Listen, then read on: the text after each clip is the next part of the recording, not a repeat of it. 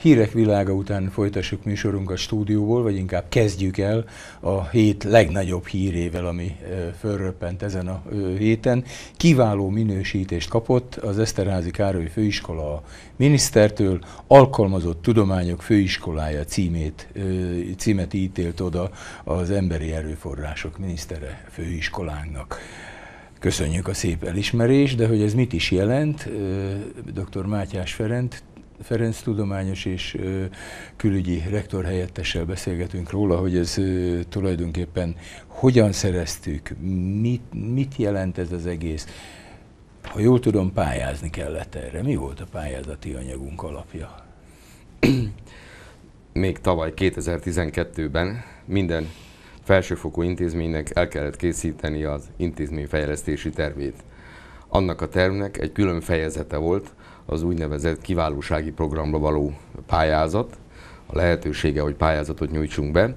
Itt lehetett pályázni kiemelt felsőoktatási intézmény címre, kutató egyetem, kutatókar, illetve főiskoláknak alkalmazott kutatások főiskolája címre, amely időközben alkalmazott tudományok főiskolája címre változott.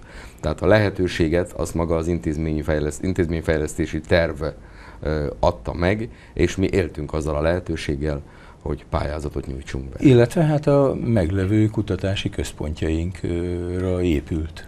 Természetes. A, a lehetőség az, hogy ilyen kiírt a minisztérium.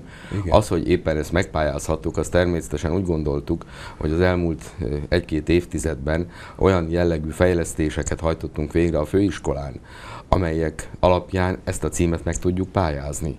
Tehát a régi értelembe vett csak tanárképző főiskolával ezt már nem tudtuk volna elérni. Ahhoz, hogy ehhez a címhez eljuthassunk, ahhoz pontosan azok a változások kellettek, amit az elmúlt évtizedekben e, sikerült megvalósítani. Azaz, hogy kimondottan kutatásra összpontosító egységeink, kutatási egységeink jöjjenek létre, hogy e, olyan témákban kutassunk, amelyet ma preferálnak, tehát azok a témák olyanok legyenek, hogy hasznosítható ö, eredményeket hoznak, hogy kapcsolatba lehet kerülni gazdasági szereplőkkel, vállalatokkal, KFT-kkel, tehát az az tisztán vett elméleti kutatás, alapkutatás, ami inkább jellemezte korábbi időkben a főiskolánkat, az ma egy kicsit eltolódik abba az irányba, hogy a meglévő kutatásainknak valami gyakorlati hasznosíthatóságának lenni is kell,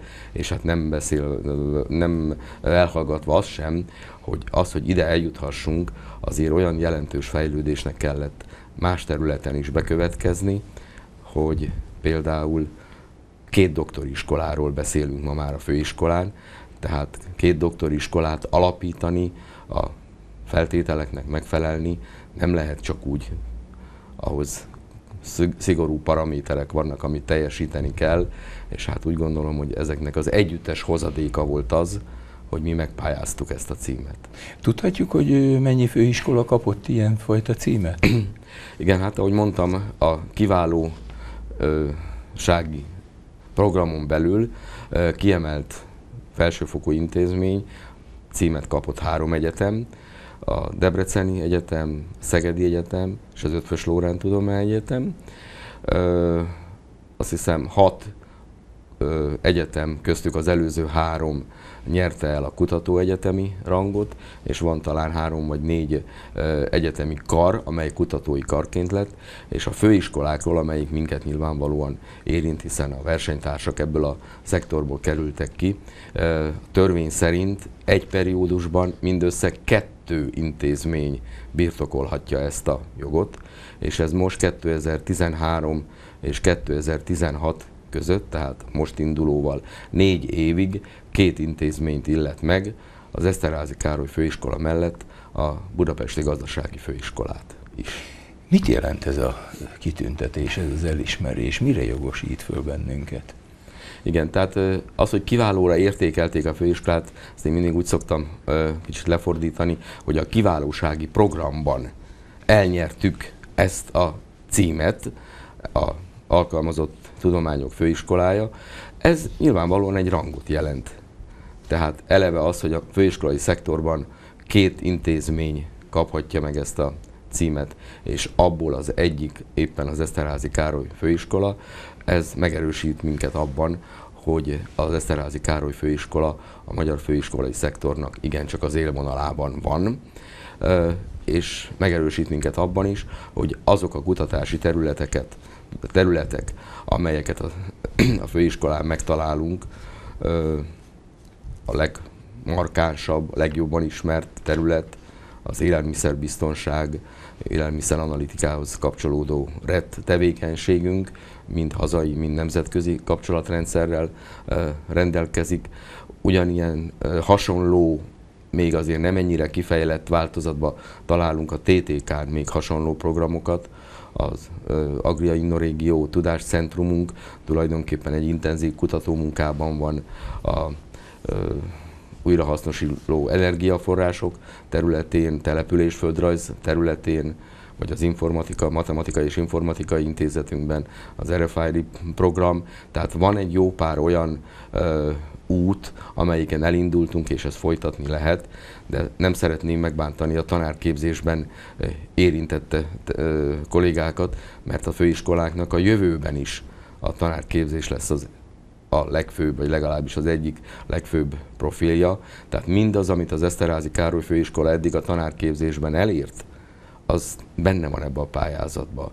És a jövőben is szeretnénk megőrizni ezt a tradíciót, és továbbra is a régióban a tanárképzés egyik vezető fellegvára kívánunk lenni. Jelent ez a cím némi nemű anyagi lehetőséget? Jár valamivel? Természetesen, amikor a minisztérium kiírta ezt a lehetőséget, akkor mindannyian kerestük a sorok között, hogy miért mennyi jár, de ezt nem lehetett előre tudni. De azért bíztunk benne, hogy mostanában is sokat hallott elvonások mellett néha valamikor valami vissza is juthat. Azért szerettünk volna sikerrel szerepelni ezen a pályázaton, mert reményeink szerint ezzel valamilyen plusz dotációnak járni kell, hiszen azok a plusz feladatok, amiket a programunkba beírtunk, hát azok plusz forrásokat igényelnek. Most annyit lehet tudni, amennyit a hírportálok, újságok, televíziók elmondtak, hogy ebben az évben 10 milliárd forintot terveznek erre a kiválósági programra. Természetes, hogy a nagy egyetemek, a három kiemelt felsőoktatási intézmény, a kutatóegyetemek, kutatókarok valószínűleg csökkenő sorrendben fognak részesülni ebből a pénzből, de nagyon reménykedünk, hogy érezhető mennyiségű milliót, nem akarom mondani, hogy mennyit, reménykedünk, hogy, hogy annyit kapunk, amelyikkel a programunkat meg tudjuk valósítani, de a hivatalos minisztériumból erről ö, szóló leíratot még nem kaptuk meg, tehát mihely megkapjuk, abba feltehetően forint pontosan le lesz írva, hogy erre a programra ebben az évben külön kormányzati büdzséből a 10 milliárdból éppen mennyi jut nekünk. Jó lenne egy-két százmilliót erre nyerni. Reménykedünk. Mindenképpen. Tanár úr, önnek a hivatalos titulusa a legnagyobb az úgy kezdődik, hogy tudományos rektor helyettes. Ö, mi lenne a következő feladat, amire azt mondja, hogy most akkor ezt elértünk egy lépcsőfokot, innen egy kicsit messzebbre látunk, följebb kerültünk, akkor következhet a... Nos, hát összességében most ez a hivatalos cím, ez azt jelenti, hogy úgymond a bejárati kapu mellé kiírhatjuk majd, hogy a Eszterházi Károly főiskola mellé, hogy alkalmazott tudományok főiskolája, ahogy ezt sok külföldi hasonló intézménynél használják, jogosan használhatnánk azt a szokásos nemzetközi megfelelőt, University of Applied Sciences, tehát az alkalmazott tudományok egyeteme, mert hogy pontosan ezt takarja ez a cím. Én úgy gondolom, hogy ha ezt az angolt most visszafordítjuk magyarra, akkor nagyjából meg is van, hogy merre felé szeretnénk menni. Tehát ez a főiskolák között egy rangot jelent. Azt mondták a bírálók, a minisztérium, hogy az Eszterházi Károly főiskola, és nyilván a Budapesti Gazdasági Főiskola is, a főiskolai szektornak valószínűleg ezen a területen a legkiválóbb intézményei. Na hát most egy intézmény, amikor elér egy szintet, akkor kizár dolog, hogy visszafelé szeretne lépni. Az előrelépés csak az, hogy ebből a címből előbb-utóbb az legyen, amit már pár éve azért terveztünk, hogy, hogy egyetemi válhasson a főiskola. Ez szerintem egy, egy komoly lépcső, amit lépcsőfok, amit most megtettünk. És ez egy jelentős építőkő benne. Így van. Hát gratulálunk a szép eredményhez, elismeréshez. Köszönjük szépen, hogy befáradt a stúdióba, büszkék lehetünk rá, mint ahogy arra is büszkék lehetünk, hogy 150 éve született a város legjelesebb, legismertebb írója Gárdonyi Géza, és 150 éve született Bódi Sándor is, és ebben az évben ő emlékezünk kettőjükre. Nézzünk meg erről egy anyagot.